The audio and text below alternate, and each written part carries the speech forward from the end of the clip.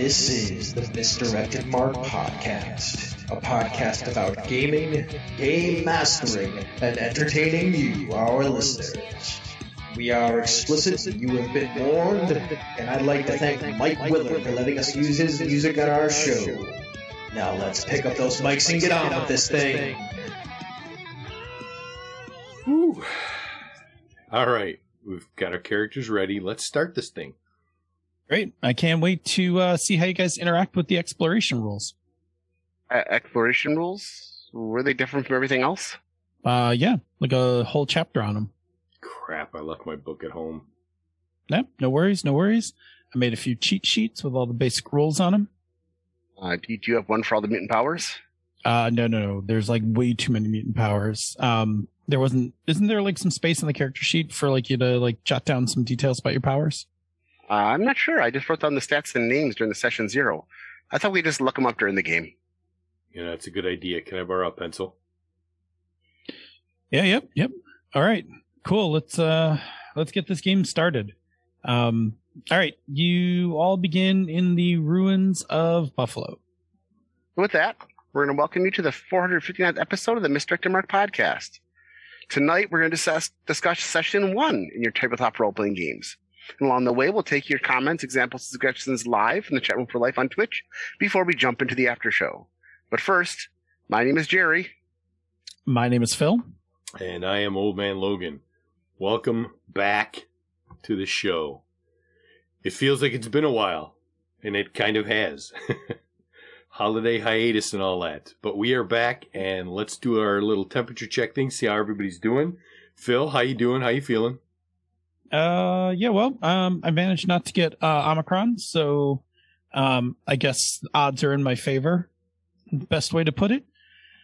Um, doing my best to try not to get it. So healthy now, and uh, yeah, I don't know, doing all right. I'm feeling okay. How about uh, about you, Jer? Feeling pretty good. Um, back from my trip to New York City, where everybody was super good about masks and everything, and uh, just kind of relaxing and enjoying the uh, a, a slow week at work. Bob.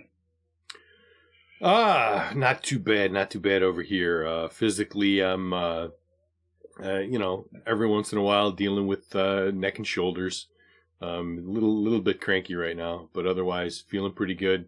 Uh, mentally, feeling uh, like a little bit up from a solid meh. So you know, like better than 50-50. So you know, that's good. Um, yeah, and uh, you know, ready to do this thing because it's been a while. I had to remember how to put all the gear together. So, but we're here and we're ready to do it. So let's jump into our one thing. And my one thing uh, that has really kind of kept me going, um, especially after the beginning of the lockdown, the beginning of the of the pandemic, when we really shouldn't have gone out to see people and we were all locked up in our homes and and only saw our friends over Zoom. Um, it's so nice to have people be able to come over to my place and hang out with me face to face in person and just you know be there together. Um, so I'm really enjoying having friends over. Um, especially for the the number of years that uh, when I was in my house that I didn't have friends over for various reasons, mostly because of dogs that didn't like people. but yeah, having friends over has been uh, just a pleasure. So, Jerry, what about you? Um, I'm gonna kind of tie into that. Um, this weekend you hosted friends at your house, and you hosted the very first uh, lacrosse game I got to watch. We watched some Buffalo Bandits lacrosse, and uh, five of us were there at your place, eating snacks and pizza and watching um, a game that I'd never seen before. And I gotta say, I really like it. Um, it was fast paced. It was fun. There was a lot of neat little things interacting. Um, it was neat to have Chris there with us because he'd never seen lacrosse either. But as soon as you explained to him the rules, he started seeing all the tactics and how things fit together and um, how the, how everything designed worked and why certain rules made the game work better. And so on. It was a lot of fun. Um, and, uh, and of course, you and Phil knew all about lacrosse. You were able to fill me in on what the strategies and everything. So it's just a lot of fun. I enjoy watching any uh, sports with people who are excited about the sport and can explain to me what's going on and explain to me why it's fun. You know, not just well, okay, now he's going to score a goal, but it's really cool because he's going to do this, or you watch this, or this is going to be a neat thing to see. So it's just a lot of fun. Um, plus, Buffalo trounced Toronto, what, 12 to 5 or something like that? Yeah, 12 to Um, 6. Yep. And, uh, and, uh, the, the, the fights at the end got so bad that the refs just let the clock run down during the fights instead of stopping for penalties. So it was fun all the way around. I enjoyed it. Phil? Yeah, it was a good time. Um, yeah, I hadn't I hadn't seen a Bandits game since 2019. Um, I don't think I watched any. Maybe watched one during the pandemic. I'm not even sure if they had them. Um, but 2019 was the last time, or no, maybe it was January 2020. I took my daughter for her birthday, um, to a Bandits game. So that might have been just before the outbreak. Uh, my one thing this week is uh, No Man's Sky. Um, not a new game by any stretch of the imagination, but I finally went out and bought it um, over the Christmas break. Bought it for my PS4, and uh, yeah, I've been having a good time on it. I've been uh, playing it for I don't know. I think I have like 13 or 14 hours logged on it, um, according to the uh, according to the save game. Um, but yeah, I, I live on a uh, I live on a mostly radioactive, toxic planet, and uh, occasionally leave to do stuff. Uh, although mostly uh, have been just um, gathering up resources and finding buried technologies and things like that. But I did get uh, I did get some cool stuff recently um, for it, so that was that's been good. I've been enjoying it. It's um, if you haven't played it, it's a lot like Minecraft, but with much better graphics. Um, it's pretty chill, um, as in not a lot of combat. Um, not really any if you're careful. I, I think at some point there's some unavoidable combat, but um, yes, there is. you you need uh what you call it? You need to make a weapon in order to uh in order you don't default with one. So Yeah. um I only just made a weapon uh the other day. We can talk about that later. But anyway, I'm enjoying it. Um I'm probably gonna go play it again right after the show. I was playing it just before the show and then like took a break. So um yeah, let's get the show going so I can get back to uh playing some No Man's Sky. All right. that right. being said, let's get Phil ready to do his favorite bumper. And go. Workshop, workshop, it's session one. The first time you are playing your game. Is it going to be good? Is it going to be a failure? Will everybody like it? Is this game going to even exist? We're going to show you how to make the best session one here in the workshop. And don't suck. Well, basically, um, we've talked many, many times in the show about session zero. We've even had a whole episode about session zero, which is the session where you set out expectations, lay the foundation for your campaign. Often you create the characters and everything. But we haven't spent a lot of time talking about what happens after session zero. So tonight, we're going to take a look at session one. We're going to talk about what makes a good session one, what are some pitfalls to avoid, and basically how session one bridges session zero into the rest of your campaign. All right. And in order to get all that done, the first thing we do is get some definitions. So let me prime Phil with this. Behold! You are in the presence of Definition Panda. Right. We got to start off um, with the very topic itself as our first definition, and I think our only definition for tonight. Session one. Uh, session one is the first session where players take control of their characters and engage with the story. Um, there's a few things going on in session one. We're actually going to unpack this even further um, as we uh, as we get into this segment. Um, but some things to note, right? This is the first time the players inhabit their characters. Um, in session zero, they've created their characters. They may have made backgrounds for them, um, but they haven't really actually been their characters yet. So this is really like the first time they're getting to be their characters. Uh, this is the first time the GM is facilitating the game for everyone and the first story of of whatever campaign you're playing. Depending on your game, um, this could be the first time you are like you're learning the rules. Um, so like if you're playing something that no one in the group's ever played before, and this is your session one, this is the first time that you are um, engaging with the rules. Now, if you've um, if some of you have played the game before, or if this is a session one for a system you already know, this may not be as big of a deal, or it might not be um, real. Like for instance, if we were going to go and play, um, you know, another Tales from the Loop game uh, for Bob and I, like we've already engaged with those rules, right? So it wouldn't be our first time playing. It would be, um, and I think Jerry's played like before at uh, con or something, so it might not be as big of a deal. But if you're playing something new, which is um, what I tend to do a lot, is run newer, like run games that I haven't played before. Um, often session one is where you're engaging the rules for the first time. Um, also, if you haven't played the game in a long time, it can sometimes be like you're playing it for the first time. If I was to go back and play FASERIP now, um, I suspect I remember, you know, a couple of the rules, not all of the rules. So I would be relearning that. Yep. Um, this is also session one is when the game stops being conceptual and um, starts being discernible, meaning that before session one, the world's in stasis, right? You've you've described the history of it. You've described what the situation's going to be when the game starts, but like nothing's happening in the game world. It's just frozen until you reach session one. And then session one is the first time that the game world comes alive. It can um, be changed. It can be interacted with those kinds of things. Uh, your session one might be a complete story if you're super efficient, right? Story being uh, something with a start, middle, and end. Um, or it might just be the first installment of a story. Uh, we typically use session one to denote the start of a campaign, but a lot of the stuff we're going to talk about tonight also applies to one shots because one shots are, in a way, their own session ones. They're also the last session, too, which um, maybe is a, a, topic for a future show to talk about session N, right? The N or X, I don't know, the last session of your campaign. Um, a one shot is actually all of those, and sometimes a touch of session zero um, in there as well, right? So that's you know, and this is why you know Senda and I did I think um, what is it, two and a half years, three years of talking about the difference between one shots and campaigns um, the one shot is a microcosm of all this stuff. So if some of this advice seems familiar because we've talked about it for one shots, that's probably why.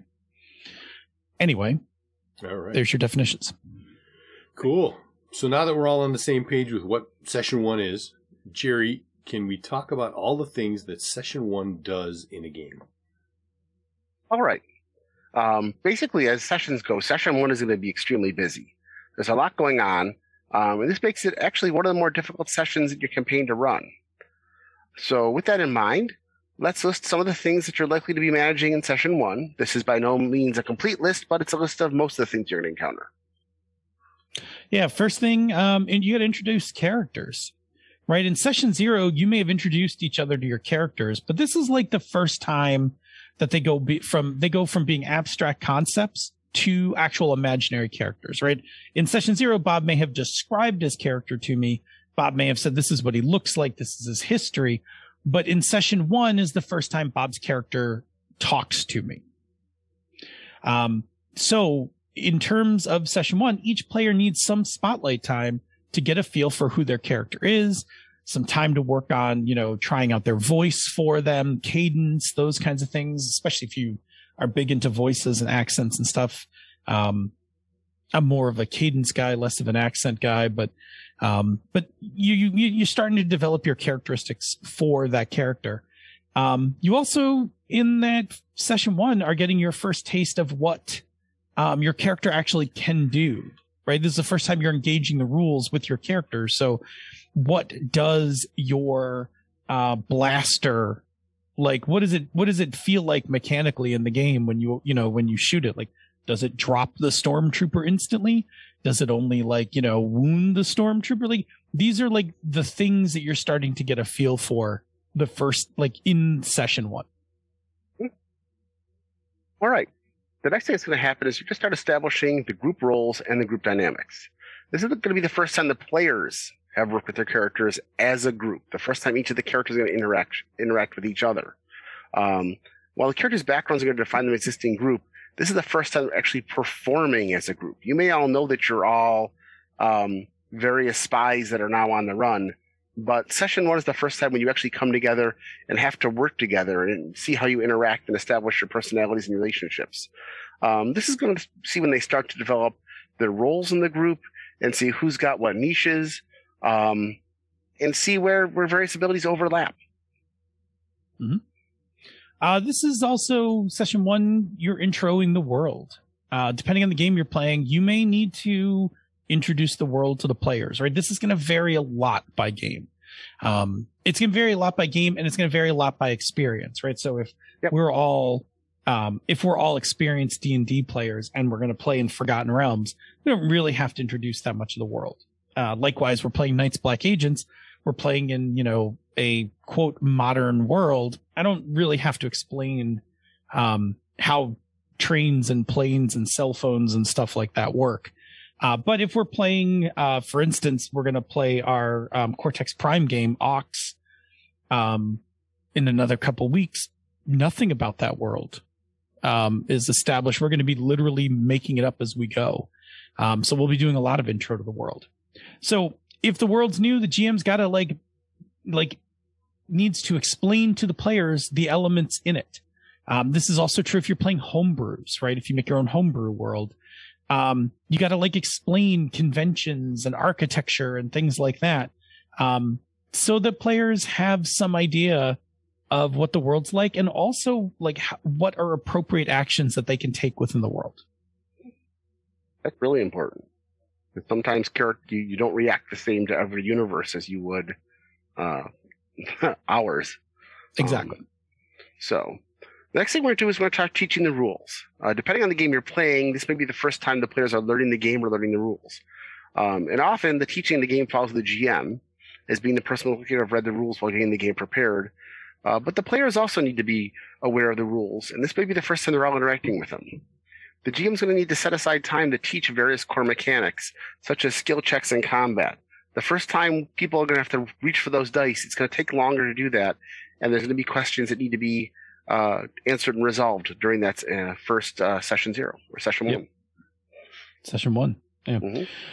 Uh, the next thing that happens during ses- session one is engaging the primary core loop of the game. That's a mouthful. Um, as a quick reminder, the core loop of the game is the activities that are central to the game, right? Some games this is very um, noticeable, right? So, like in Blades in the Dark and other Forged in the Dark games, there is a built in core loop, right? Where there's like some open play.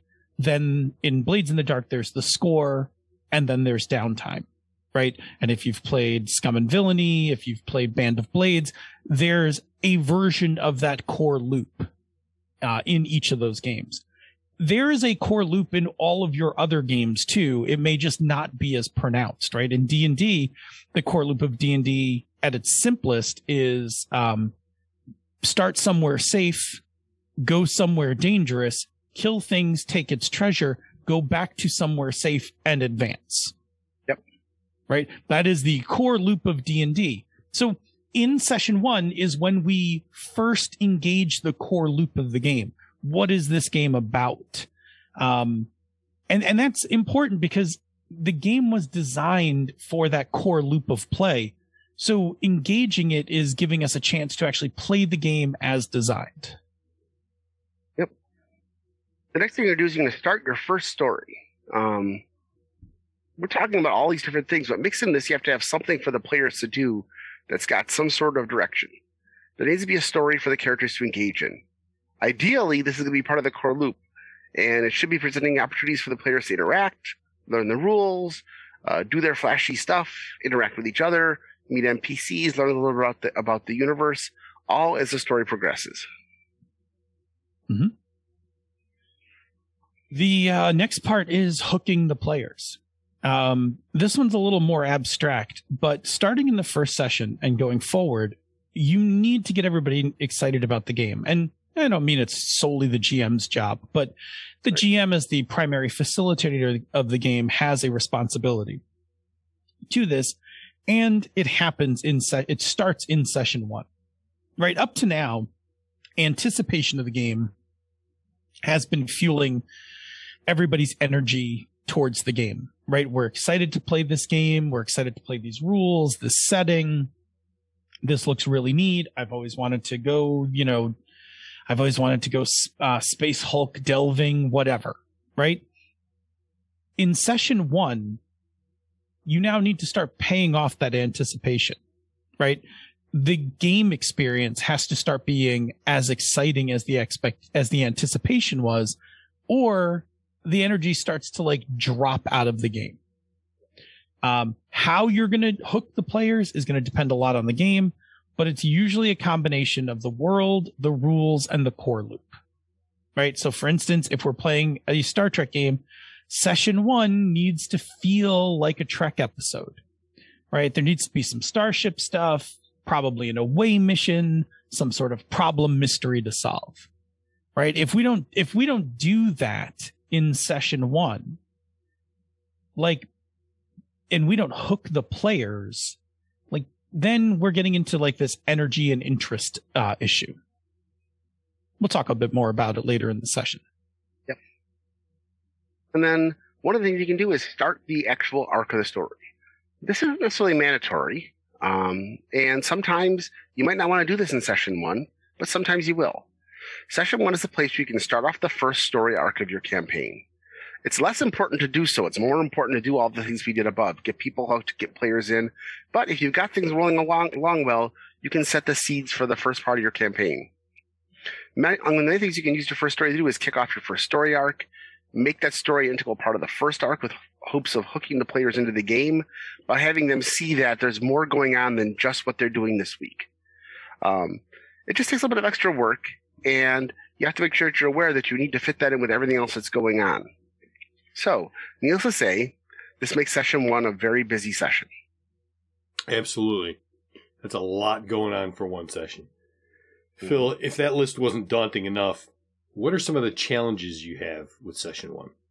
Yeah. So a lot of the challenges that we see in session one are kind of the same things that session one is working on addressing, right? And they pretty much fall into two large buckets um, unfamiliarity and lack of emotional engagement. Well, let's talk about unfamiliarity. Because let's face it, session one is the first time we may be playing this sort of game. Depending on the game you're playing, you as the GM and your players may be completely unfamiliar with the following. You might not know who the characters are, who your characters are, what they can do. You might not be familiar with the setting and how things interact, and you may be unfamiliar with the rules and exactly what you're capable of doing uh, with those rules. So, this can often lead to the fact that players may not be sure what actions they can take with their characters. For example, are jump checks and armor going to be more difficult or less difficult? Is the combat system gritty enough that fighting the barkeep could lead to a serious injury? And something might be as simple as can you use the transporters at warp speed? May as well try. But because there's unfamiliarity, everything is going to take a little bit longer in session one. Players are going to question uh, and often overthink their character actions, and you're going to probably have people stopping to look up rules throughout all of session one. And this is going to make the story progress slower. And this can lead into the secondary challenge. Yeah, which the secondary challenge, as we said, is the lack of emotional engagement. Right? Early in the game, players only have potential emotional engagement, right? They're excited about the game. Uh, their excitement about the game is getting a chance to play this character in this game world with these rules. Now, if we're lucky, the player is excited about all three of those things, right? They like their character. They like this game world. They like these rules. But the truth is, in a lot of groups, um, not all three of those things may be true at session one. They may not be sure about their character. Maybe they do like the world and maybe they don't really like these rules, but everybody else wanted to play this game. Hmm. Right. So like we don't have like real firm footing here yet, right? Once you start playing, the potential engagement is replaced with actual engagement, right? Actual engagement is built on doing things that evoke emotions in the uh, player, right? Through their character. Um, but if we are unfamiliar with our character, the setting and the rules, it's hard to get that engagement. um, because we're fumbling, right? We're we're we're not too sure about this game yet. We're fumbling through the rules. This session's coming off a little quirky. Like, I don't know. I guess it's okay, right? Um, so if that's if that engagement doesn't come around in the first few sessions, uh, people can lose interest. And and this is not unlike a TV show, except that TV shows are highly engineered and scripted to to build engagement from the get go. Yeah. Right. Um, but even even that said, um, because of things like unfamiliarity, like there's a reason why um, Encounter at Farpoint is it's an okay Star Trek story, right? It has all the things a Star Trek story has. So It has some, um, you know, um, space stuff. Uh, it's got a uh, an away mission, and it's got a mystery that's uh, you know that's um, discovered. But like we don't as as viewers, like we didn't know the characters, like we didn't have a real good feel of the Trek universe, right? And all those things. And so um engagement is it, like engagement was slow building. And then it didn't help that season 1 kind of um stunk up the joint anyway. Um so the thing is if we look at like the pilot for um like if we look at Emissary, right? The pilot for Deep Space 9, uh it gets a it gets a boost for the fact that by the time we're watching the pilot of Deep Space Nine, even though the characters are unfamiliar, we know a lot. Like we as viewers, especially you know if you're a, a Trek fan, you know a lot more about the world coming into um, the first episode of D- Deep Space Nine. And I I will also, and then I'll get off this Trek sidebar, but I think this is what this is why for a number of us, uh, Voyager initially threw us off was you took all the familiar stuff and threw it away. Mm-hmm. Right? Like Voyager's like, oh, cool. You know a whole bunch of stuff about Star Trek. Awesome. We're going to the Delta Quadrant where you don't know anything. Welcome back. And for me in the 90s, that was a put off. Like knowing stuff about the Alpha Quadrant was cool. Understanding now that they were running those shows in parallel, like, and they had to put one further away from the other one so that they didn't have to keep continuity um was definitely like i definitely did not appreciate that um in the 90s but i Yep. did not um but this is what i'm talking about right? Let me just let me pull it all back together. Uh in the in session 1 is our first impressions of the game right? It's our first time to be excited about the game and it's a hard session to get excited in with everything else that's kind of going on and how like how fumbly how you're fumbling through everything All right. So obviously, session one's got a bunch of things going on. It's got some serious challenges. It's amazing that campaigns ever get off the ground, honestly, sometimes. Jerry, since it's pretty hard to do it all at once, how do we prioritize what needs to go into our session one? All right. Um, if you're going to have a fun and productive session one, one of the things you can do is is figure out what you need to do. As with many things, you're going to vary with the game you're playing, your experience with it, and your group are to change all of these. But consider some of the following questions as you determine what your session one is going to actually need. yeah um regarding characters how much of characters backgrounds were covered in session zero how much of it was um discussed leading up to the game um how well do the characters actually need to know each other before the action starts like do we need to know everybody's personal background uh before you know the you know before we get into the you know into the action or does just kind of knowing everybody's name role and description good enough to get going The next thing we're going to look at is setting. Basically, are is the GM and the players familiar with the overall setting of the game? Have any of you played this session setting before? And how much of the setting does someone need to know before the action starts? If you're playing in Forgotten Realms and you've ever played D and D before, you've pretty much got the basics of what's going to happen. But if you're playing in something like Dark Sun or Eberron or Planescape, you're going to need to have some setting interaction um, throughout the game so people know what the differences are and what they're going to be doing. Mhm. Mhm. when it comes to rules, how um, are you and your players familiar with the rules with, of the game? Um, if Mhm. you're the only one that's familiar with it, are you familiar enough to be able to teach everybody uh, the Mhm. game as you go? Have you played these rules before? Um, based on the adventure you're running, what mechanics do you know are going to come up in that session? Like, no, I'm going to have a couple skill checks. Definitely going to be some combat. Definitely going to be some wilderness tra- travel, etc. Next, you need to look at your story. What are the characters going to be doing in this session? Um, is it something we can make sure that everybody's going to be involved in? And then, does this does this need to tie into any larger arc, or can this just be a freestanding story? So, based on all those questions, you can start to figure out what you need to focus on and what you need to look at.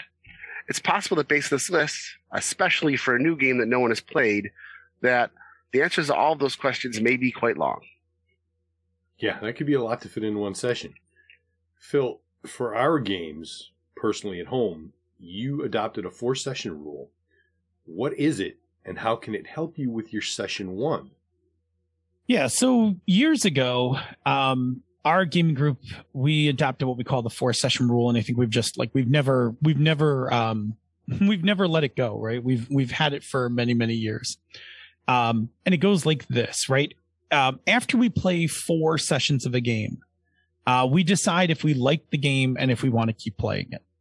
Uh, and what we learned is that if we made that decision after session one, we really don't actually have enough information, right? If we made that decision after session one, we probably should can a lot more games.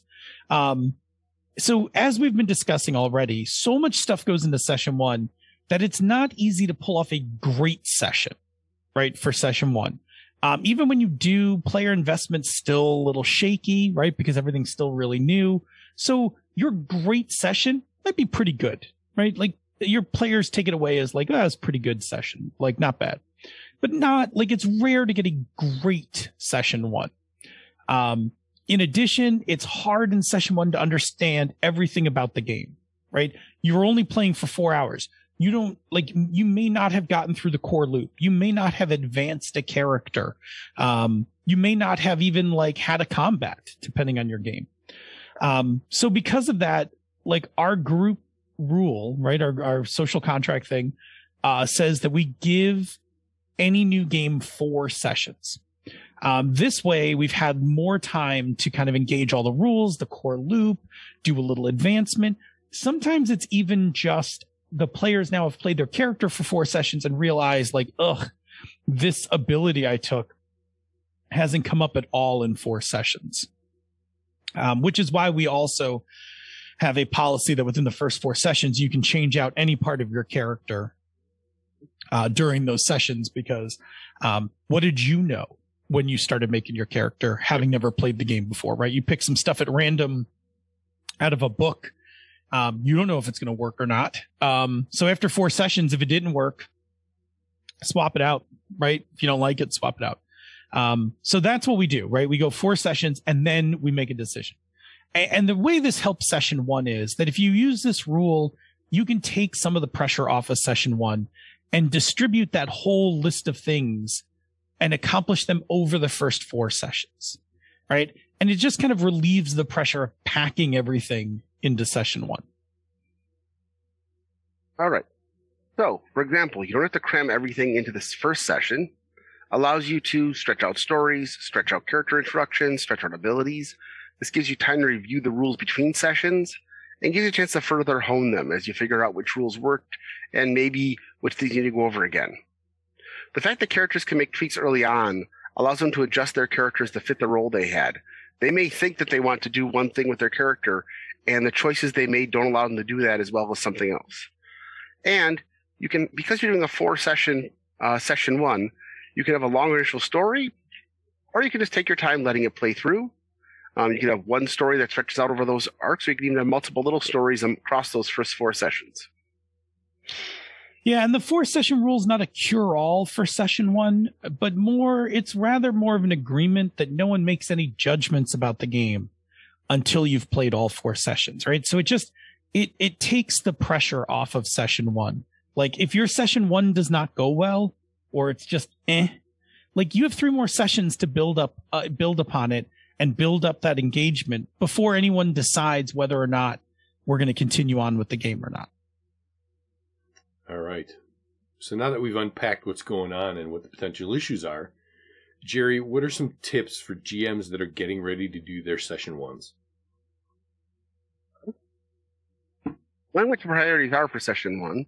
Well, just as we talked about above, we're going to give you a list of tips. And again, these are in no order. You should pick and choose these tips based on your needs. Yeah. I think I just want to caveat this because we talked a little bit about this pre show. Um, not all of these apply in every situation. Yeah. Right. Yeah. Like if you, for instance, if you like you're really familiar with the rules of your game, some of these don't actually like you don't need to do some of these. This is, um, this just is, is assumes nothing about your game. You'll know which ones of these you Yeah. want to stick with and which ones you want to break. Um, so starting with that, start with a simple story. With so many things going on in session one, don't roll out a complicated plot for your first session. You got enough to juggle and complicating a plot with twists and, you know, turns and, you know, backstabbing and all that stuff. Like it doesn't really need to be one of them. Like just a straight, simple, um, straight, simple plot for your first story, uh, will go a long way. Number two, don't start with any lengthy world descriptions. I cannot stress this enough. The number of times I've been in session ones with GMs and you're 30 minutes in and they're still talking about all the things that make this game the, the, the game it is. Um, player engagement is going to require them to engage. Don't have them sitting there while you give them a 30 minute history lesson of your world. Work that information in different parts of the session or make a handout they can look at between things going on. If it's something that's really important, make it a question answer thing as opposed to just you laying things out. But try to get to the actual playing of the game as quickly as possible. Yeah. Agreed. And I'm and I echo the same thing you said about having to sit there while somebody tells you about their Yeah. world. Uh, also, having the challenge of having written a game called Hydro Hackers um, and doing one shots. Uh, I have to be very like I, I try to be very careful about how much like no more than a few minutes to describe this world. Yep. Yep. Right. Like we'll talk more about the world once we get into playing. I need to tell you a few little things about the world, and then we gotta like we gotta get moving. Right. Like, okay. Yep. Um, next one, build scenes that go over rules gradually. Um, again, this one caveated with the fact that like if you're familiar with the game, you don't have to do any of this. But if you're unfamiliar with the game, construct some of your early scenes to teach core mechanics. Right. Start simple, work your way up through the more complex rules. Um, if this is the first time you as the GM is running are running the game, um, and I said, you know, this is I think where Jerry and I had Jerry and I differed in our pre-show discussion. If you're running the game for the first time and like you've never used these rules before, like I wouldn't open with an in media res fight scene, right? Like I don't think I would start the first words of my game as roll initiative. Um, no. I would lean into like, hey, let's do a couple skill checks or let's try a move or like let's do a move or two, and then like, okay, cool, now we can lead into our first fight. Yeah. It's going to depend on the game, though. Um, if you know the rules, rules well enough, it might work to have a fight clearly on. And it's going to depend a little bit on your players and the kind of game you're playing. Um, if the game has a lot of combat, like D&D, Savage Worlds, Dungeon World, Genesys, um, this might be something that gets them immediately into the into the core conflict resolution mechanic of the game. Um, because in a lot of those games, combat is the main focus of the design of those games. And players tend to design their characters for that. And if you've got the guy who's playing the big burly barbarian, he wants to know what happens when he swings his axe. That being said, if your game isn't focused on combat, you can switch to something else. Um, if it's in masks, you know, get in some interpersonal drama early on and maybe let the bull punch something. If it's an investigative game, start doing an investigation right off the bat. But the important thing is engage that core something, get them rolling dice early so they can see what their characters can do right off the bat. Now, Sure. go ahead. No, good. Um, oh, Um, yeah, you're next. coloring is all over the place here. Um, so yeah, if you um, so if you need to bring characters together in the opening of this of a session, like do it quickly. Like don't again like the thirty minutes kind of thing. Don't spend an hour trying to like you know weave your characters together. Uh, if the characters don't know each other and are being brought together for the first time, And hopefully you've already taken care of that during session zero. But if not, do that in the first few minutes to avoid playing a long scene with each character. Get them there quickly, give them time to interact, get them playing the game. Exactly. Uh, the next one, I'm pretty, I'm pretty staunch about this. Um, Mhm. do not subvert the main tropes of the world or the core loop of the game in the first story. Right? Mhm. If your game is about cyberpunk runners doing missions, your first your first adventure needs to be a mission. Um, you want your session to be somewhat stereotypical so the group gets a feel for the core loop of the game and the main tropes of the game. Later in the campaign, you can subvert all those things um, and shake things up. And again, if you have played this game a bunch of times previously, like if you're playing 5e and you've played a whole bunch of 5e and you want to subvert some tropes on the get go, perfectly fine. But if you're like trying to get the players into understanding what this game does, you want to lean into the tropes, you want to lean into the core loop so that everybody starts to understand how the game goes. Uh, you want to be sure that you start out with uh, having rule handouts. You can find out a lot of them on the li- online these days. If you play any role playing game that isn't something you made up yourself, chances are somebody out there has made a really nice cheat sheet or some rules handouts that the players could have for access. Uh, especially if your game has lots of rules or has things that become important, like combat is its own mechanic, or a game like um, Blades in the Dark, where uh, or a Band of Blades, even where every phase of the game is going to have something different going on. Um, print out your move sheets for PBTA. Get them GM moves for yourself. And if you're a player, find some of these things. If there's something that you like, if you're a player and you are a spellcaster, maybe get those spell cards or find the PDF and print them out or, or whatever.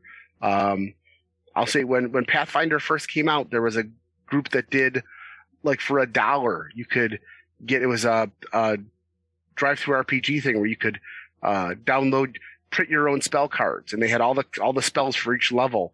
So you, just, you could just print them out on a sheet and have them in front of you with everything laid out.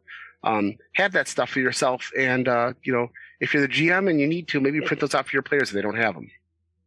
But Mhm. have all those rules together so you spend less time looking up rules, more times playing the game. Agreed. And I'll just say this I don't think it's been a problem in recent years, but if you are designing a PBTA game and you do not put your GM um, principles, agendas, and um, uh, moves onto a sheet for the GM, shame on you. Um, in the early days of PBTA, there were a couple of games where I had to go make the GM uh, sheet for the game.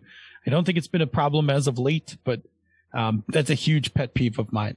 Um, as the GM, I very much want to just look down at a sheet to see my available moves so that I know what move to take rather than trying to like hit the book and find something. Um, but yeah, I'm a huge proponent. In fact, I've done, um, I think Gnome Stew articles. I think we've done a, um, somewhere in the two, somewhere in the 100s. I think we did a misdirected mark episode about how to make your own handouts. Um, all of those things.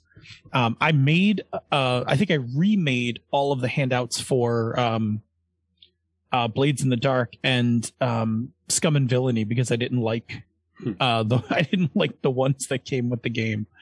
Um, so yes, I fully support that one. Okay. Um, next one, combine session one, ob- try to combine session one objectives into, into single scenes, right? Find ways to combine some of the things that you need to get done in session one into like uh into a single scene so that you're like killing two birds with one stone. Like for instance, if your wizard school campaign, if you're playing your wizard school campaign and in session like in session 1, you could start in class, right? With the instruct instructor giving a lecture which gives you the opportunity to provide some information about the campaign world and then have them practicing casting a spell which gives them a chance to engage the rules right? So we've we've done a little bit of rule work and we've done a little bit of of conveying world information all in one scene that's active, right? So where the players are doing something, it's engaging, that kind of. Next, don't feel like you have to engage every subsystem of your game in session one. If you're playing a game with lots and lots of subsystems, don't try to jam them all into session one. Just focus on one or two systems session one and roll with the others in subsequent sessions. Um, if you're going to be playing a game that has um, different rules for vehicle chases and starship combat and droid hacking and the like, unless that is a player's main focus, don't try to gra- cram them all into one session. Um, it's more important to, to focus on letting each player get a chance to do something that makes them cool, so to see what makes their character click, than trying to get everybody involved in everything at the same time. Yeah, that's a good point. Uh yeah. I mean, I I don't know if you you named you, the the subsystems you named um remind me of exactly one game which was D20 Star Wars. Mm-hmm. D20 Star Wars had like a a somewhat ridiculous number of subsystems. Like there was like regular combat, there was um spaceship combat, there was vehicle combat chases kind of thing and very like very much do not try to pack those all in. Um, I think this is the same thing that people who play Burning Wheel will tell you. Um, is also do not try to uh, jam in all of the Burning Wheel subsystems in in a in a single session. Like phase them in over time. Yep. All right. Well, that's a lot of tips for the GM. Phil, what do we have for players who are going to be playing in a session one? Oh man, time to take out my chip on my shoulder, right? Pat my chip. All right. There are things as players you can do and should do to help the group have a good session one. Uh, here are a few things that you can do. First of all, if you're a player, read the rules. While a lot of players let the GM read the rules of the game and try to learn the rules from them, if you're a player, you should learn the rules outside the game. Doing this helps the GM, means makes less work, that can be done to reach full rules mastery for yourself and for the GM, especially rules that protect your, pertain to your character. If you're a spellcaster, learn how to cast spells. Um, you can also do this by listening to APs. A lot of them will teach you the rules as you go. And don't be afraid to learn the rules of other players in the game, especially if you've got players that aren't quite as rule savvy. Um, I've been in campaigns many times where we've had players in the group who just remembering rules isn't their strong suit, and sometimes you have the person who has that that that skill for remembering rules. If you're that player, you can get in there and help other players prep up for the game, especially when it's coming up on their turn. Do that. Learn the rules. Makes it easier for the GM. When I was GMing, um, I'm going to go back to Pathfinder. When I was GMing Pathfinder, I had a player who had almost eidetic memory. And I would sometimes assign him homework because he loved it. I'm like, next week, uh, explain to us how attacks of opportunity work. It's in the rules, but we always get it messed up. And sometimes we would be doing something. I'm like, all right, we're coming up on whatever's next. You know, Aaron, when you get a chance, uh, check up on the rule for this. That when we get there, you can just tell us what's going on. And he loved that. He loved being the the rules lawyer, so to speak. But it helped me out as a GM because it meant that while I knew all the rules, I didn't have to memorize that one rule on page 157 for what happens when people try to do competitive tiddlywinks. He could just look that up and tell us what the rules were. Um, roll d20 against each other. But uh, that sort of thing helps out a lot. Next. Hmm. Uh, similar to the rules, read up on the setting. If you are unfamiliar with the setting of the game, read the setting material that's provided for the players in the rule book, right? Often, um, rule books will have like some setting stuff in the front that's like made for everybody, GM and players. And then it probably has like a lot more setting stuff stuffed in the back for the GM. Read the front stuff. Um, just to get yourself up to speed with the world. Um, the more of it that you are familiar with it, uh, with it, the less the GM has to um, lecture and explain um, the world. Now, if you're playing a homebrew, this isn't really going to be possible. But like, for instance, if you're playing Numenera, read that front section of the book. It's got a lot of cool stuff that will be what you will need to know about the ninth world, right? That kind of thing. As we pointed out earlier, if you're a player, help define or make your handouts. The GM is going to be doing a lot to get this game going. And if you have some time, make or find some handouts for the game would be a big help. Um, somebody who's really good at this for us is um, friend of the show, uh, Glenn Seiler. Almost every time we play a game, at some point, Glenn's going to link us to something that he found online where, hey guys, here's a quick summary of the rules, or hey, here's something that we found that's a quick. Doing that makes it a lot easier for everybody else to find it and get going and means that the GM, often Phil, doesn't have to do that part, that sort of thing. Um, but uh, in general, if you've got this, find these handouts or find these links, find these APs, whatever, and get the other players involved in them. Yeah. Huge huge um like you know of all the things i'm doing as a gm prepping to get session one off the ground if somebody's like hey i found some cool handouts like awesome cool send them to me because i'm gonna go laminate some for everybody or whatever Yep. um tying into something that um, jerry said earlier about rules um i i broke it out here for a little more detail learn the specific rules for your character of all the rules the gm has to learn they are not going to take time to memorize all of your powers all of your abilities, the moves on your playbook or whatever, right? Um, this is your job. You need to become the expert in how your character works. Playing the barbarian, you are now the expert in the barbarian class. Learn it, live it, love it. Next, get comfortable with your character. Between session zero and section one, take some time to think about your character. What what are you interesting about? Um, you know, what makes them interesting to you? How are they going to sound? What quirks are you going to play at the table? Do they have any funny lines? Do you have any interesting backstories? Um, and what is it that gets you excited about that character? The more comfortable you are with all your characters, the easier it's going to be to slip into that character when the play starts.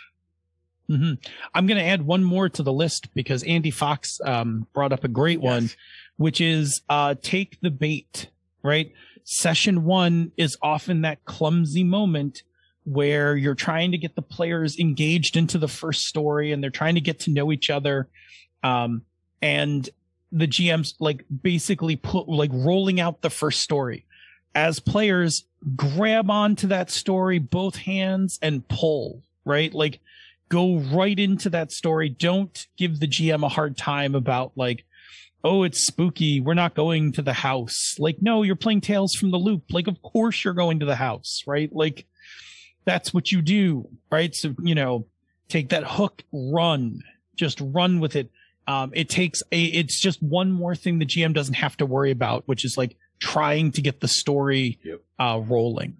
So do your part. Um, even if it's ham fisted, even if it's not the most original opening, whatever, take it and go. Yep. Cool. Okay, that's our overview of session one. We're going to check in with the chat room in a moment. Thanks again, Andy Fox, for that cool uh, tip that we got to add to the uh, end of that segment. Um, so we'll check in the chat room for any further insight and wisdom. But first, Bob, tell us about another show on the Misdirected Mark Network. All right. Tonight we're going to talk about bonus experience.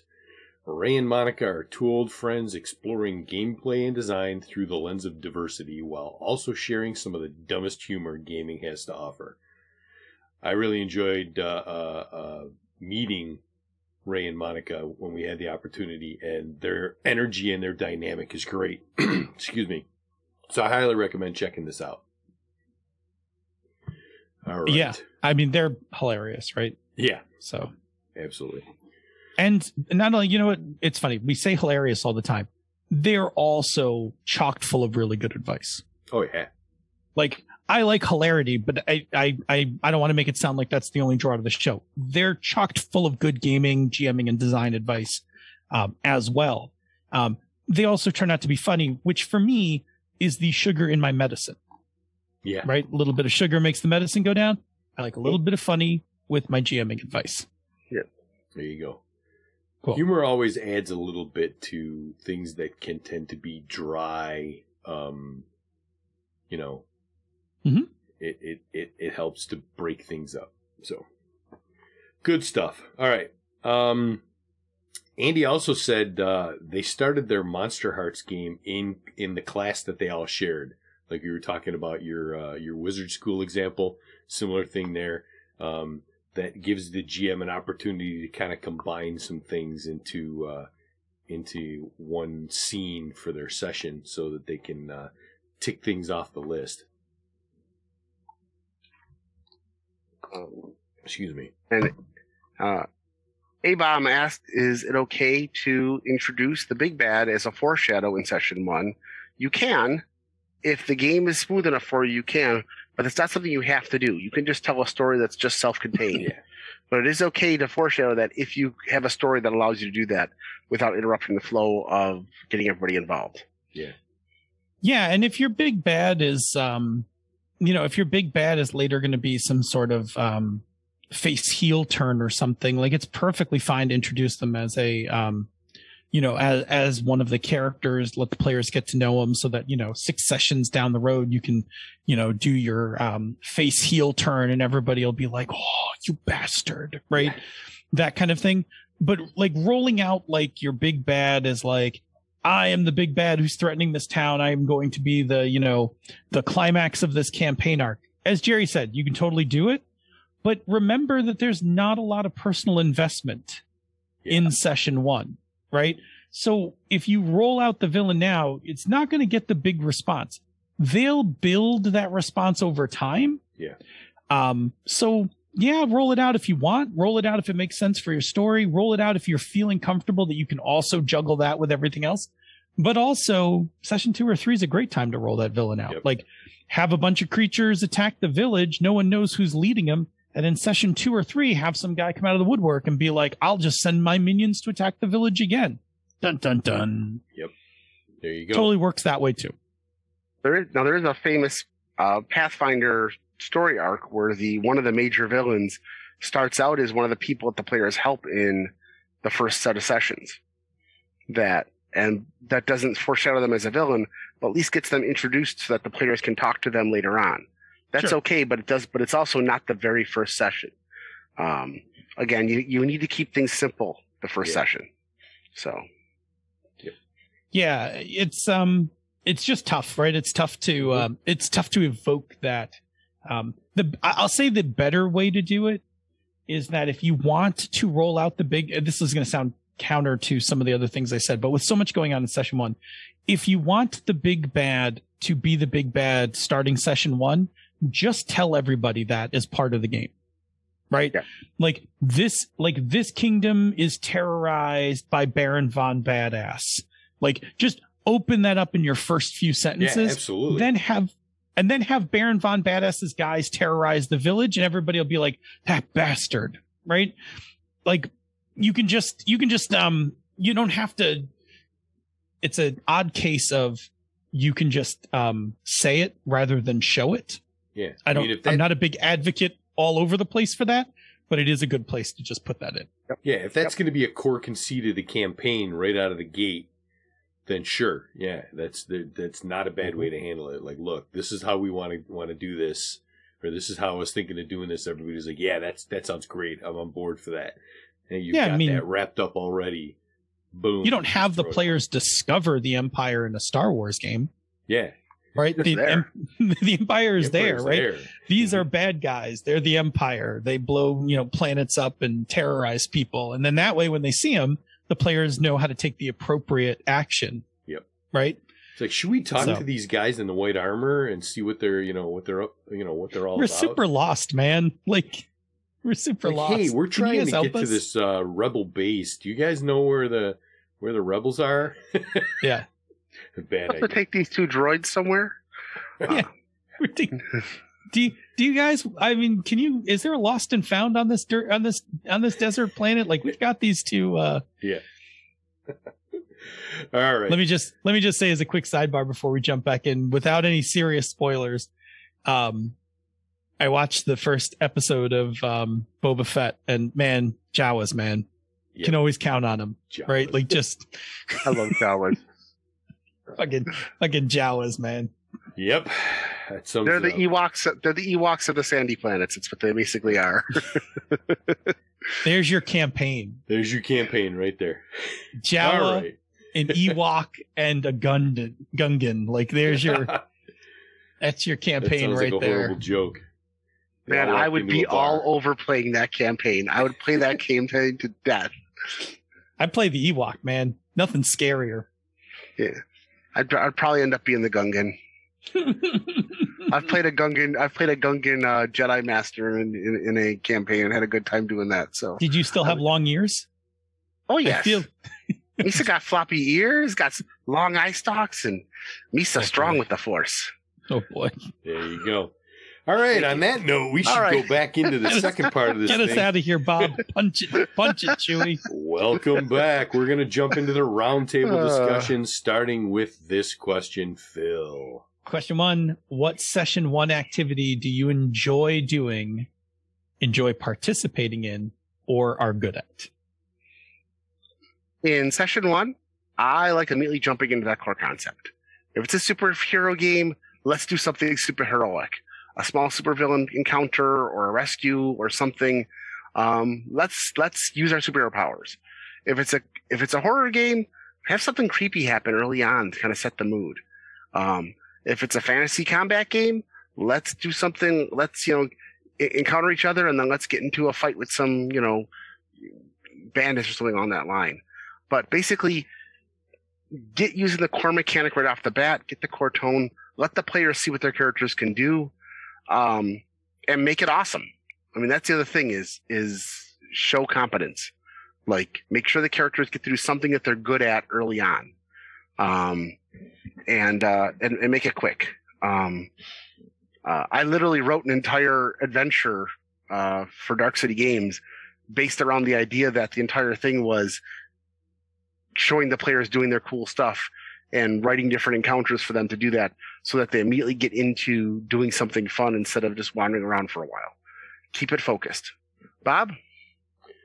Yeah, I don't I don't know that there's one particular thing that really stands out.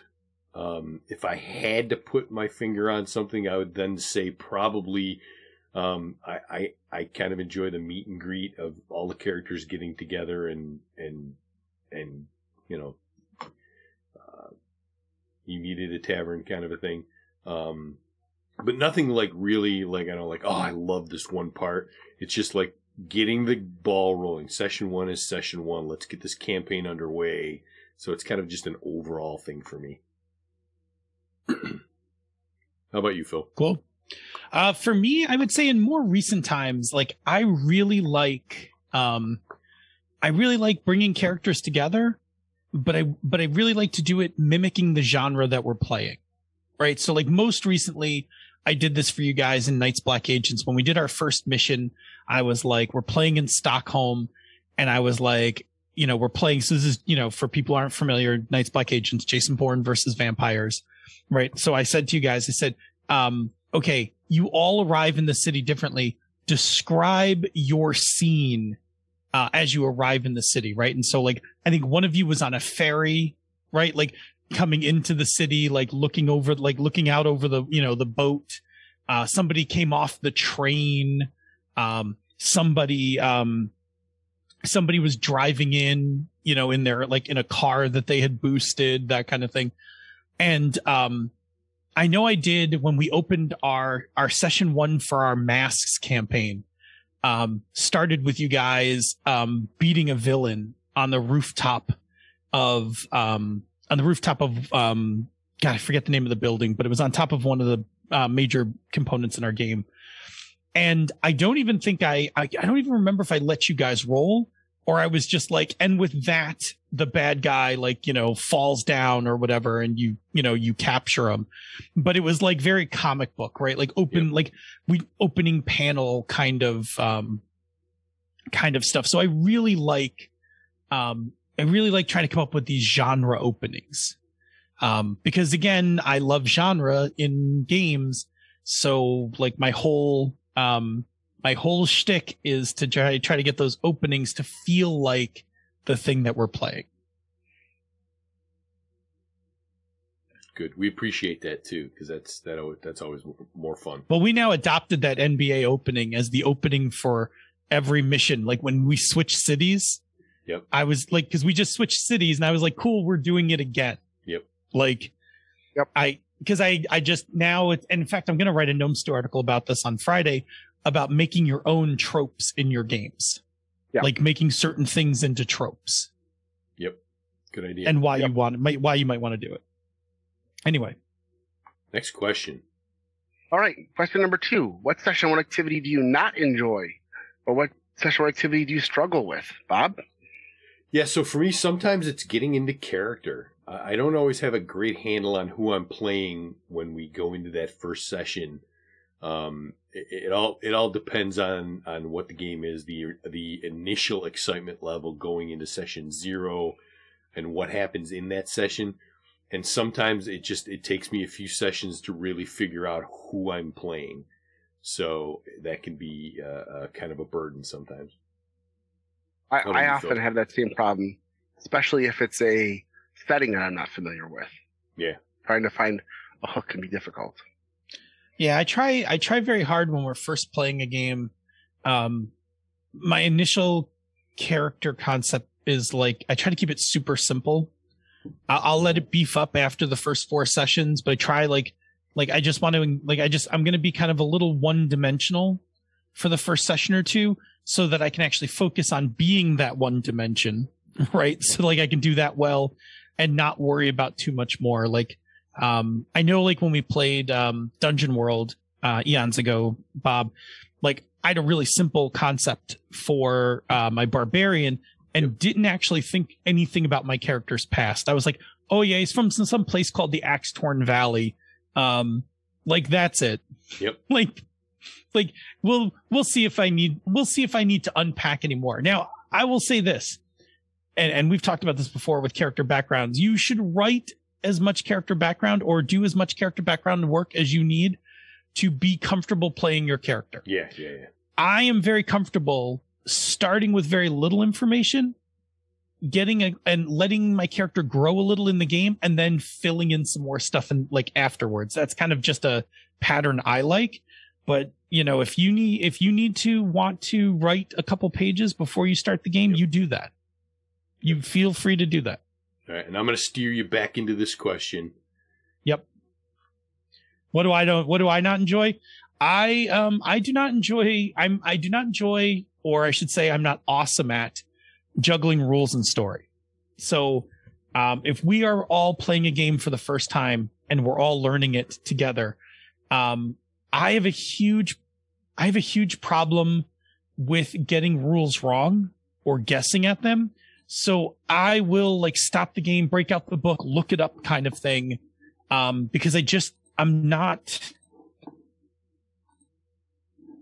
end roll right now. Like if I'm learning the game, it's like, oh no, let's go look and see what it's supposed to be. Later in the campaign, when I have like some more rules mastery and something comes up and I just want to make an arbitrary, not an arbitrary, but I want to make an informed, um, ruling on it, then I'm very comfortable to be like, uh, you know what? The situation doesn't exactly match anything. Eh, let's just call it a D10 for the game. It's fine once I'm comfortable. When I'm first learning, I'm very much about, and probably too much about, uh, getting it right. So that's, that's a, that's a place where I always struggle when we're starting a new game. Yep. Next, What about you, uh, I I have trouble getting everybody involved, emotionally involved, without getting bogged down in description. Um, sometimes it can be tough to find ways to include everyone, especially if they're unfamiliar with the genre. Um, this has happened a couple times. I mentioned before, but I try to run a superhero campaign with players who aren't familiar with the genre. Um, or if you're trying to play a story-based game with a bunch of people who are used to playing hack and slash, um, or just people who don't watch or read a lot of horror, and you're doing a game that's going to involve some some scariness or horror. Trying to get a way to get everybody involved. Um, if they're unfamiliar with the campaign, so that they have some idea what they want to be. Um, getting that all together, especially in that first session one, can be very, very difficult. Um, and making sure there's something for everybody involved. So everything there kind of gets can often be kind of messy for that first session. Cool. All right, last question. As a player, how much prep do you typically put into session one? Yeah. So historically, and I haven't played in, in, in a while. I've actually, um, over the last couple of years run far more than I've played. Um, I would say not much. Um, I will do a little work to make sure I understand the mechanics of the game. Um, but like I probably should read more about the mechanics of the game. I'm thinking about like when we played Call of Cthulhu with Chris. Um, I definitely didn't know those rules very well. I mean, I got the hang of it after a few sessions, but um, could have done a little bit more prep on that. Um, I do, I do some work to get into my character. Um, I'm not too bad at that. I will definitely get an, an initial character concept off the ground and like let it evolve during play. I'm okay with that. Um, so I'll show up as a character, like I'll, you know, I'll present and play my character, but, um, I probably I probably would benefit from doing more. Like after I made that list in the in the last segment, I was like, ah, damn, man. Like I don't I don't do these things. Yep.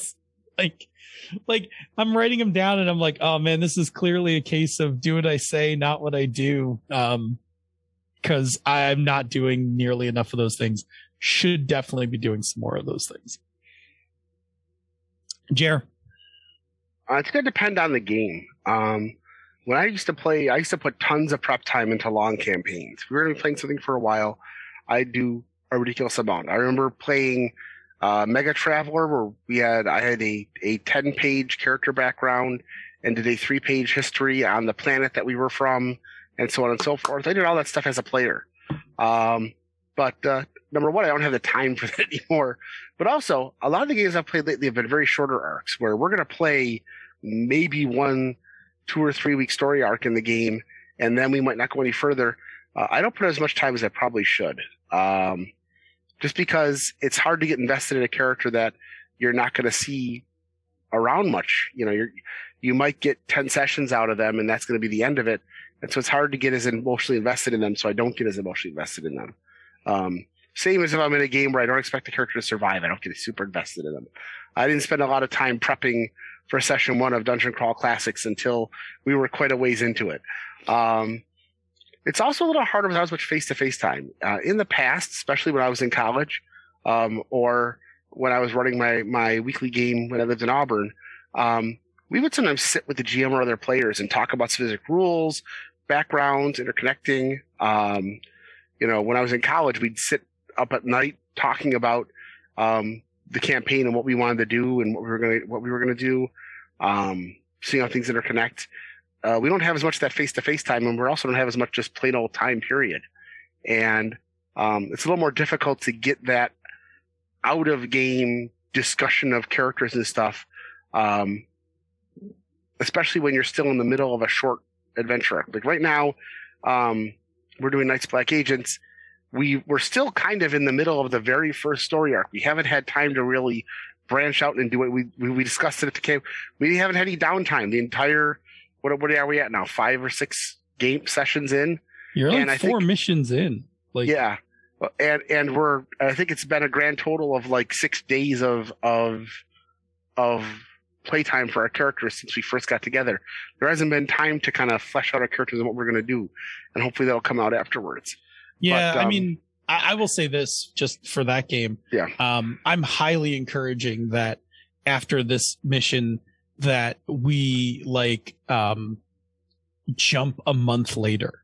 Like yeah. I would like to do a thing going around the table like where did you lay low for your month? Like mm-hmm. Where did you recoup? Yeah. Where did you you know that kind of thing. Like you guys have been on this like really tight timetable because we started with a pretty um exciting kind of um uh admission and then you've been like closely chasing the the bad guys on the tail end of this but it is coming at somewhat of a cost like we haven't really done um, player stuff we're having trouble finding time to recuperate those yeah. kinds of things so it would be um, it would be cool to actually take a deep breath and slow the game down for a little bit and then work you guys back in to your next that mission. Also, that also happens in the beginning of games. Like player prep them like this looks like it's actually going to be a game that lasts. Sometimes we've had a couple of these games that we've run for three weeks, and I didn't really get invested in the character until we've been in the game for a couple of weeks. And I probably should try to develop my character a little more be- before that. So yeah. that's me, Bob. Yeah, I'm gonna just a quick uh, uh, tack on to one of the things that you said about um, not being emotionally invested in a character you know is only going to go for a short period of time. I have the complete opposite of that. Um, if I know this is a finite thing, it's only going to go X number of sessions. We know this in advance. That's almost like a one shot. Ride it like you stole it. If it's a mystery and you have no idea how how many sessions you're going to get out of it and you're just kind of like going along like i'm waiting for that thing to kick in that's going to really spark me then maybe you know i'll i'll fluctuate a little bit. But i would be way more into just jumping onto it and riding a concept and and, and going hog wild if i know it's going to be finite right out of the gate. But otherwise, for me, um, prep for going into session one is going to vary for me by game and how excited I am going in. If I've nailed an exciting character concept coming out of session zero, then I will often put a whole bunch of stuff into uh, prep before session one, where I'll uh, I'll do things like uh, create some quotes that my character will will will throw out here and there, um, different stuff like that. Um, it's uh, it's it's going to depend on and that excitement level coming out of session zero. If I'm still not 100 percent sure, um, then I kind of just like kind of ride the wave into session one and, and see where that goes and, and, and, and come out of that with whatever I get. So that's, that's where I am. Excuse me. That cool, idea. cool. All right. All right. So that was our discussion about session one. Yeah, we hope the next time you start up a new campaign, which we hope is fairly soon, uh, that some of these tips will help you out. And we're going to check in with the chat room one more time and then head off to the conversation corner. We were talking earlier, Phil mentioned uh, creating new tropes for your game. Uh, and Chromatic Chameleon uh, made a comment that's great. Uh, in their Ravenloft arc, they made it a trope that every time someone says Strahd, lightning flashes above the mountains and thunder is heard. And I love I that. love it. That's awesome. That's awesome. That is good stuff. Yeah, I love it. Luger. Yeah. oh man. Excuse me. Queen And, uh, agrees with me that uh, um, knowing that there's a short term character, short term limit on how long this character is going to get uh, to play, leads her to really just ride, you know, wild ride, just jump on and go. Um, it's a, uh, you know, I'm I'm curious about this. As opposed to what? Like, I'm wondering if that we're all just thinking this through wrong, right? Like, if a game's gonna last forever, why would you not just jump on it and ride it like you stole it? But that's the thing. You don't know. Like the plan is we're going to see, we're going to have an extended campaign, but you don't know how long it's going to go. You don't know when it's going to kick in. You don't know if you're going to hit session four and be like, eh, somebody's not really getting it. You know, let's kill it and, and, and, and go into somebody else. Oh, You know, so like you're there's that- sure of whether the rest of Yeah. the group might kill your excitement. Exactly. Yeah. So you don't know That's- for sure. Like the plan is let's do a campaign that's extended, but I see. you don't know Okay. for sure. For for But you're like, for example, "Ooh." you know, I look at that different than a one. You know, one shot, I'll ride it like I stole it because I know what I've got for finite time. But I like the number of games that we've that we've started and gotten three sessions into didn't even make it to session four over the last couple of years. Um, I don't get excited about those characters until we get to session four. So here's I the probably thing. I'm- should. I probably should. but- here's the thing I'm worried about, right? Yeah. Now, granted, in the last two years, gaming's been pretty rough, right? In Yeah. terms of Yeah. trying to create mental engagement and things kind like of an that. anomaly. Of course. Right. But here's the thing I get concerned about. If everybody is reserved for the first four sessions, who's going to be excited to go past session four? Exactly. That that's that that's the problem. I, I see that. Well, see, Uh, I don't, I don't look at it as, as like for me, there still can be excitement and interest in the campaign. Now, the excitement level may not be super high, but the it's it's an interest excitement uh uh, uh like a like a bar graph. Like they're both in different spots, and they can both be you know above midline, and it's like all right, we're good. Um, but if if we don't know where you're going, I mean, it's I I I just don't I don't think the word There- reserved there's works also for me. there's also So- a difference. There's also a difference between reserved character investment and reserved playstyle. So that I think is that I think is what I was leaning towards is investment versus engagement, right? Like I don't need you to be invested until session 5 or starting in session 5, but I need the table to be exciting Yeah. for us to want to go to session 5. yeah, Yeah. Yeah. Yeah. Like like I like when we played the sprawl, I had almost no personality for my character for the first couple because I had no idea because we started a second time. The first one went Yeah. two weeks. We changed the rules twice. We fizzled out. We came back. So I'm like, all right, I'm I'm if I was at the point of I'm going to play this character and have a good time, and I liked my character, but if he died, he died. Like I had absolutely no emotional connection to that character whatsoever, and um, that's that's different than being engaged. That's however we still played that game to the hilt, and um, I still don't have a really good feel for my Night's Black Agents character yet, uh, their personality wise, but I know, um, like like I'm you know dedicated to uh, protect the team, blow up vampires. Um, Yeah. Not, yeah, I think I that mean order. Night's, Night's so. Black Agents does a good has a different way to hook you in the game, right? Night's Black Agents Yeah. doesn't and Night's Black Agents doesn't start by hooking you with a character. It hooks you by pulling you into the investigation and then the conspiracy, right? Like Right.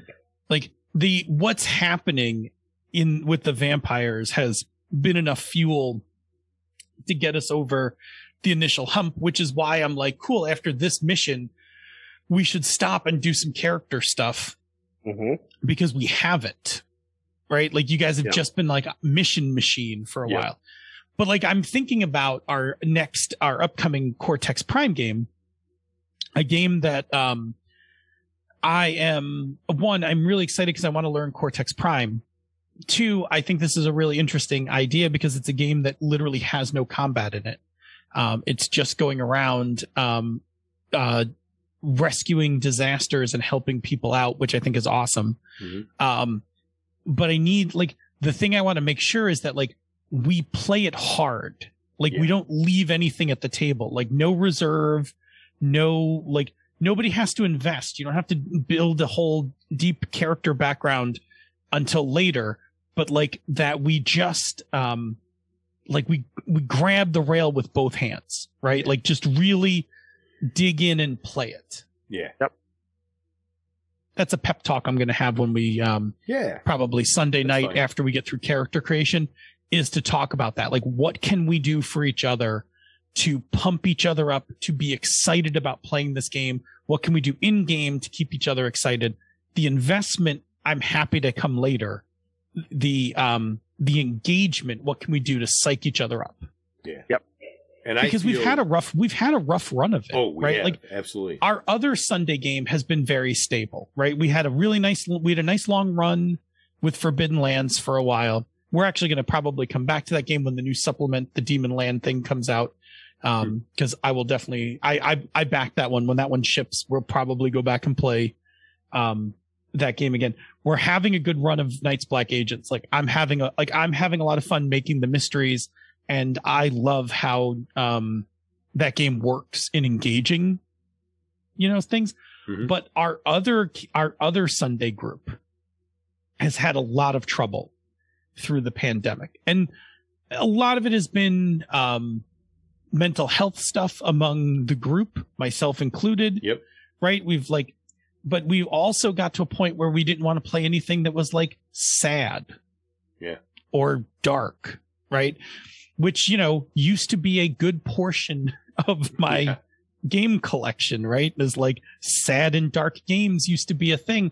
But even now, as we're like starting our junior year of the pandemic, right? Like I'm, you know, I'm just not into sad right now or dark. Like I want to play something happy, um, that kind of thing. Yep. So that's, you know, like what do we do to help ourselves with that? Like we played I Hunt, which I thought was an exceptionally good game, like well executed and did what it was supposed to.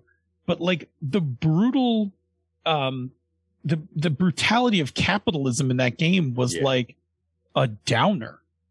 And it's supposed to be, right? Like yeah. it wasn't the fault of the designer. The game is very much upfront about that. Yep. Um, but when we played it, it just was like, this game is great.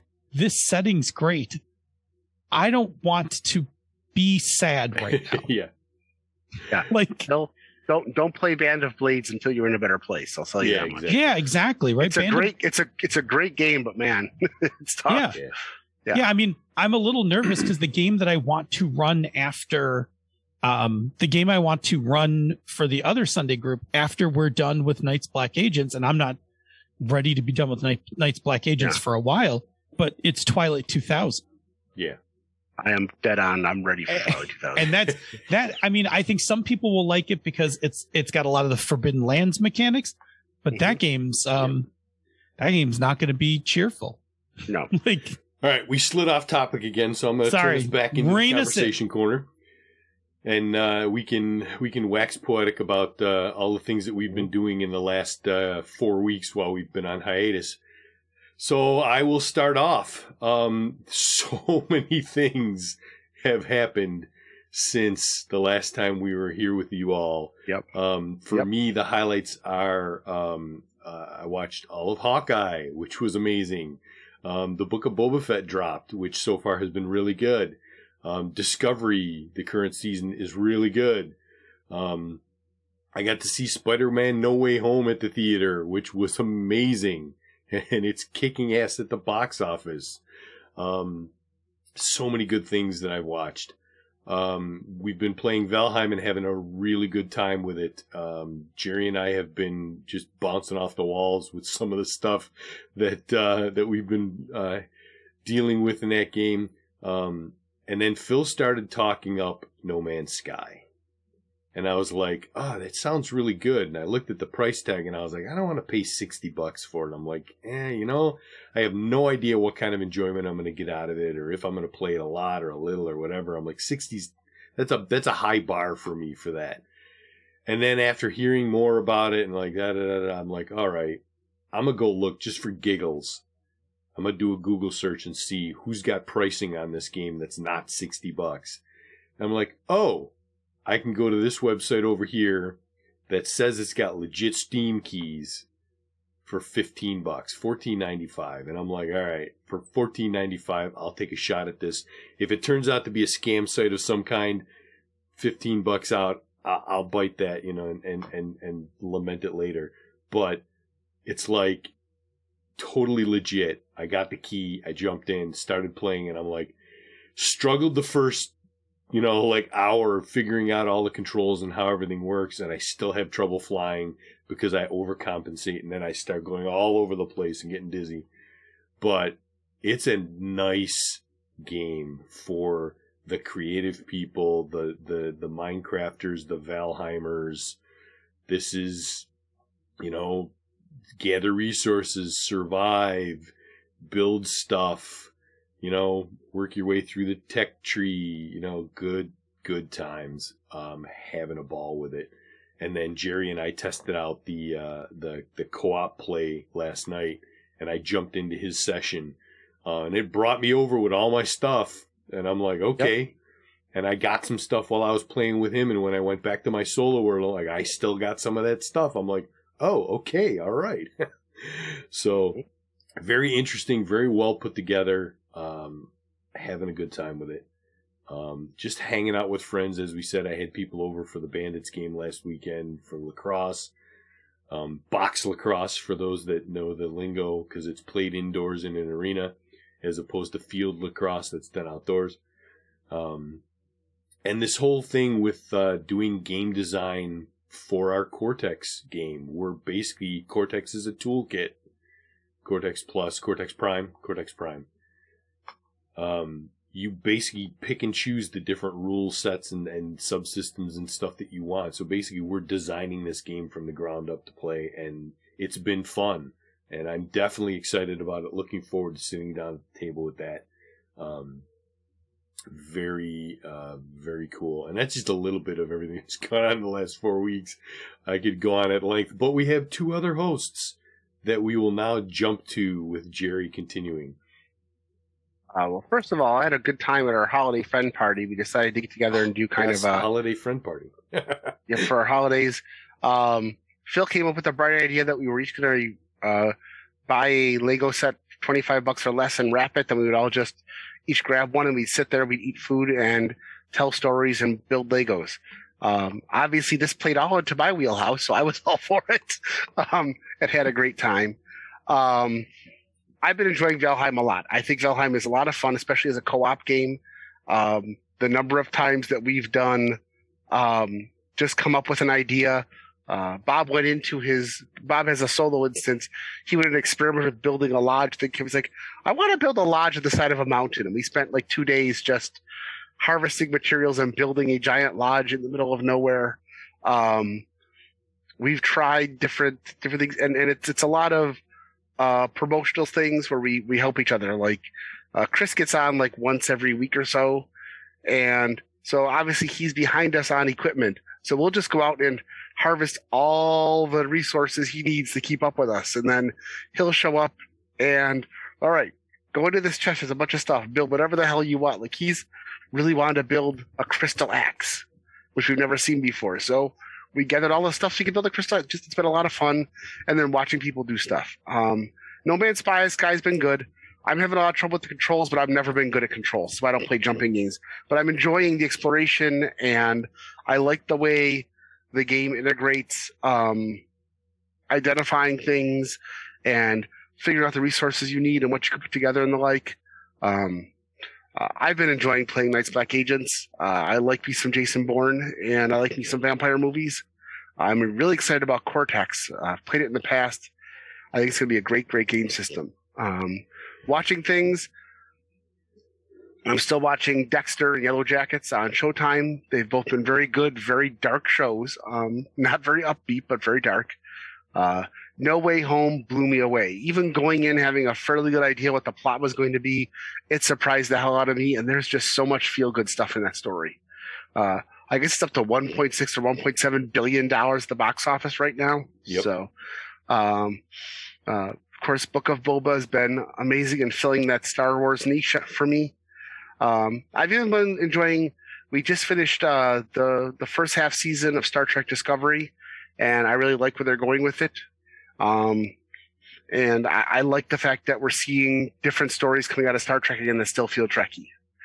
And lastly, big, big, big time Lego building. I've been um, finishing up some big projects and revamping a bunch of stuff. So a lot of times when I'm watching TV or listening to games, that I'm sitting in my basement building things, and uh, just completed three major projects that have been. Uh, one of them took me like 14 hours to do. So um, it's just it's it's replacing what I used to do, which was building miniatures to play Warhammer. Um, but uh, we've been having a good time just building Lego buildings. And uh, I was telling Bob and Phil the other night that I was actually in the shower when I suddenly had a re- revelation on how to fix a problem I've had for years with one of my sets. And my wife came downstairs wondering, you know, why are you sitting in the basement wearing a towel? I'm like, I got an idea. I want to. So, you know, I was re-engineering stuff to see if it worked. Now I just gotta wait for the pieces to come in. So, um, still relaxing, still fun, still chaotic. It's been a good time. It's gotten me through the uh, the the chaos and hecticness and uh, just disturbingness of, of the holiday season. And now that we're past it, I'm, I'm out to the side, and all these things kind of help get me through it, especially our, our holiday friend party. Phil?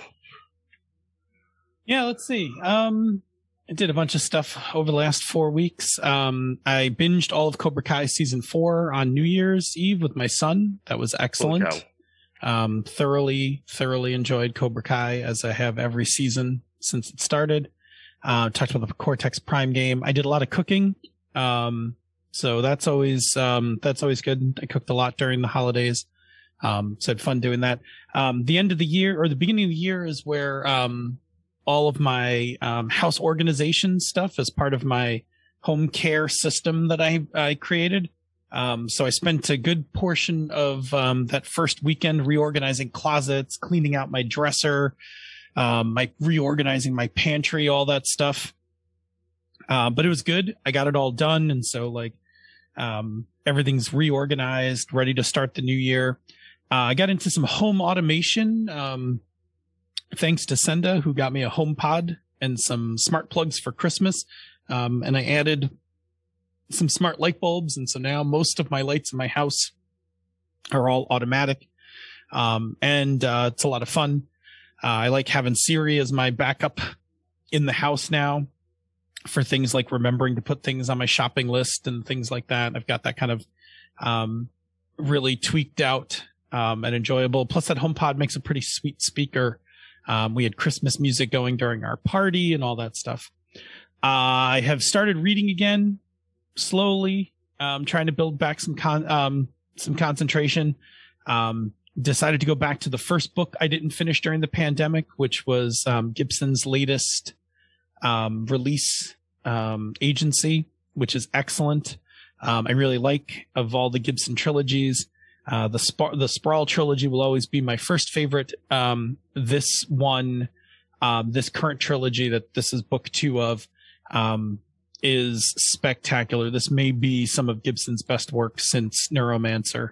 Um, thoroughly love, thoroughly love this world um, that he's built, and I think we're going to get a chance to see it because I think rumor is the Peripheral, which is the first book, is going to be um, is optioned as a series for Amazon. Right. I think so, um, which means I will be stealing somebody's Prime account because I'm going to need to be watching. Going to need to be watching. Uh, need to be watching that when it eventually releases. Um, the other thing I got to do was I got to do my um session one um of uh my one-on-one um thirsty sword lesbian game with Senda this past week.